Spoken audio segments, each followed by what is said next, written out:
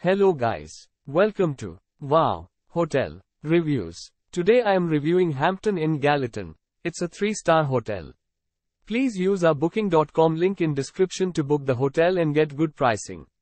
The Hampton Inn Gallatin is 30 minutes drive from Opryland. Guests will have access to an outdoor pool during their stay as well as a daily continental breakfast.